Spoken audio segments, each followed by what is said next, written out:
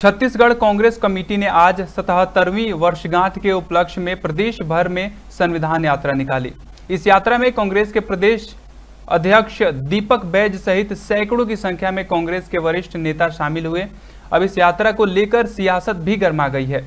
एक तरफ़ बीजेपी हर घर तिरंगा अभियान चला रही है तो दूसरी तरफ़ कांग्रेस संविधान यात्रा निकाल रही है। कांग्रेस के संविधान यात्रा को लेकर सांसद ब्रिजमोहन अग्रवाल ने तंज कसा है। उन्होंने कहा कि जिस दिन कांग्रेस के लोग संविधान का पालन और रक्षा करना सीख जाएँगे, उस दिन देश संविधान के अनुसार चलना शुरू हो जाएगा। आज छत्तीसगढ़ प्रदेश कांग्रेस कमेटी के आह्वान पर पूरे प्रदेश के जिला मुख्यालय, नगर पंचायत, नगर पालिका, नगर निगम सभी वार्डों में और सभी ब्लॉकों में संविधान यात्रा निकाला गया है, जिसके तारतम्य में आज मैं भी स्वयं रायपुर के हमारा कौन सा ये?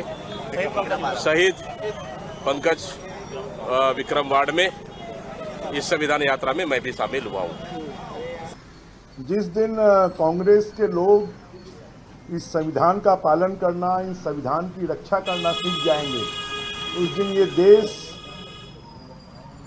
संविधान के अनुसार चलना शुरू हो जाएगा। कांग्रेस के लोगों ने अगर भारत का विभाजन हुआ, चाहे पाकिस्तान बना हो, चाहे बांग्लादेश बना हो, चाहे कोको द्वीप बर्मा को दिया गया हो, चाहे अक्साई चीन हमसे अलग हुआ हो, चाहे हमारा लेह लद्दाख का हिस्सा पाकिस्तान के पास गया हो, इसके लिए अगर कोई दोषी है तो कांग्रेस पार्टी दोषी है।